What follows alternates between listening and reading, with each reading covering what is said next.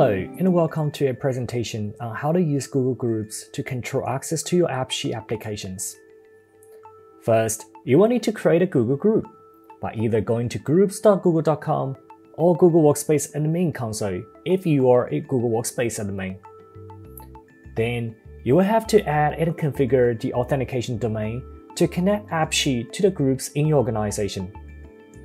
And last, to add authentication groups that will be used to manage user authentication for your app. In this demo, I will show you how Amy, the app creator, uses the Google Groups to restrict only her sales team can access to the task management app. First, Amy signs into Google Groups. She creates a group called Singapore Sales Team, configures the group privacy settings, and adds in Angela, Camilla, and Rodney as the group member.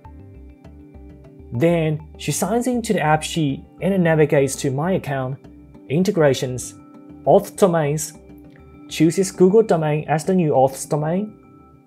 The new authentication domain is successfully added to the account. Next, she opens the Task Management app and navigates to Security, Domain Authentication, Enable Required Domain Authentication. Under Authentication Domain Source, select the one we just created. She then adds the Singapore Sales Team group under Authentication Groups.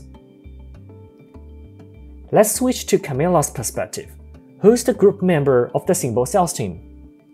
After getting authenticated, Camilla get access to the Task Management app. Now, let's switch to William's perspective, who is not the group member of the Singapore Sales Team.